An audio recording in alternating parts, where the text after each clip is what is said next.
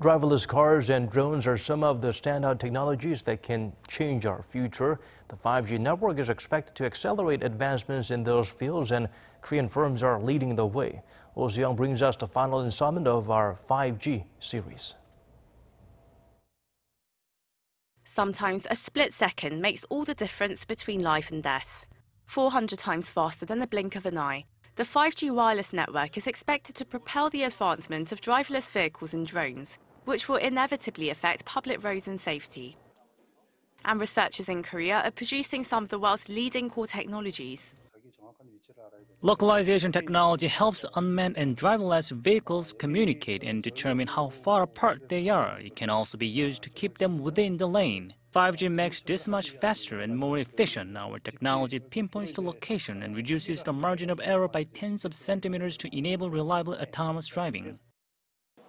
AI mobility solutions developed by local firms can improve safety by scanning whether the driver is tired or distracted, as well as detecting road conditions and traffic lights and steering the car when needed.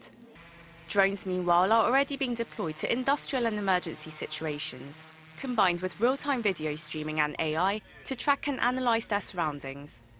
Features like facial recognition could later help identify and rescue victims, as well as send their status and medical information to health authorities.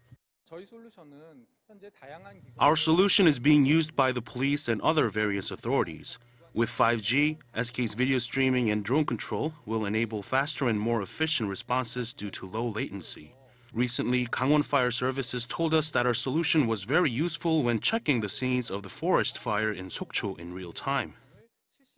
SK plans to expand its high-performance live video streaming and monitoring for industrial drones used in agriculture logistics and delivery services, partnering with drone maker DJI. Before 5G-based solutions become widely deployed, experts say it's crucial to iron out various safety and security issues.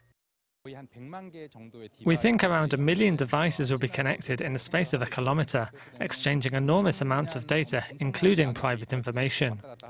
Even the slightest breach or lapse could lead to colossal accidents, for driverless cars especially.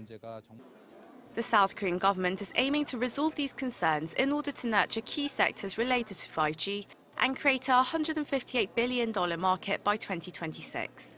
Oh Soo-young, Arirang News.